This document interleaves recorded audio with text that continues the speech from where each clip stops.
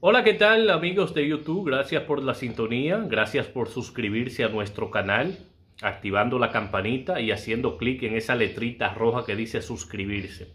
Compartimos con ustedes las primeras imágenes de la viuda del asesinado presidente de Haití, Jovenel Mois Martínez, quien acaba de llegar a Haití en un vuelo privado. Podemos ver cómo ella es recibida por el primer ministro de esa nación, Joseph Claude, quien ha sido fuertemente cuestionado, incluso acusado, de estar detrás del asesinato del presidente Jovenel Moïse. Pues bien, fue el primer ministro el primero en saludarla y en recibirla, luego familiares y gente cercana a la viuda fueron a, a mostrarle su solidaridad.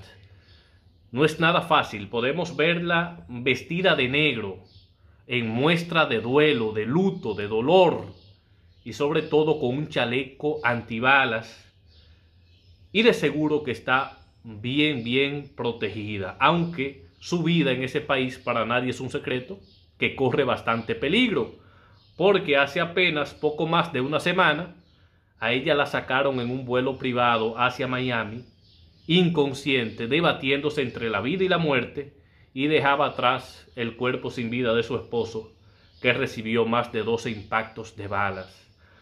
Aunque todavía no se han ofrecido los detalles de la presencia de ella en Haití, pero nos imaginamos que es para participar en las honras, en las honras fúnebres y en el entierro de su fallecido esposo.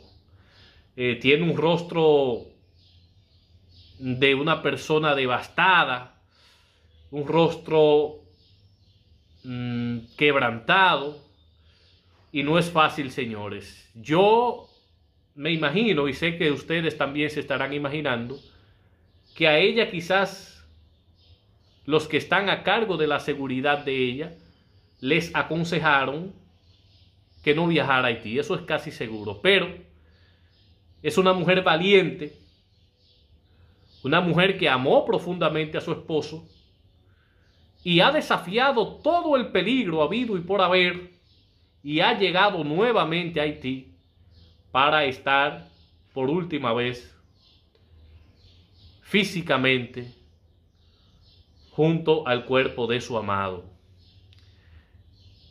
Muy dolorosa eh, esta situación que ha, que ha consternado prácticamente al mundo y también es bastante fuerte verla a ella sacando fuerzas de abajo para darle el último adiós a Jovenel Mois.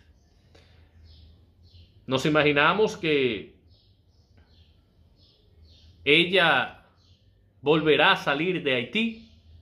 Hay que ver el tiempo que permanecerá en esta nación. Hay que pedirle a Dios nuevamente que la proteja porque Todavía se está llevando a cabo una investigación y no se ha determinado oficialmente quién es el autor intelectual de la muerte del presidente Jovenel Mois y la presencia de ella allí es de alto riesgo y hay muchos intereses en medio.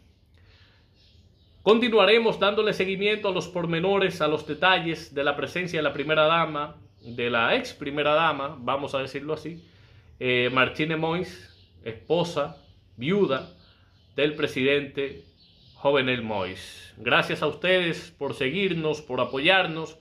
Suscríbanse a este canal de YouTube para que estén enterados de primera mano y de manera inmediata de los acontecimientos nacionales e internacionales. Lisandro Torres estuvo con ustedes.